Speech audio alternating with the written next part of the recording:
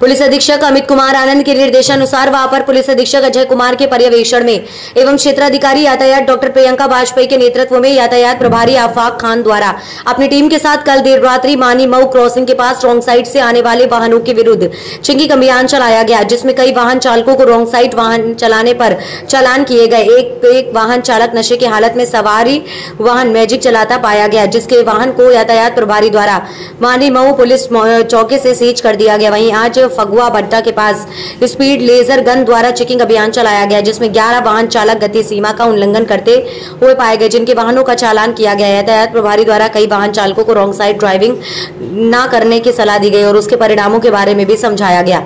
इस मौके पर मुख्य आरक्षी प्रमोद कुमार, विजय बाबू और आरक्षी धनीराम वर्मा मौजूद रहे।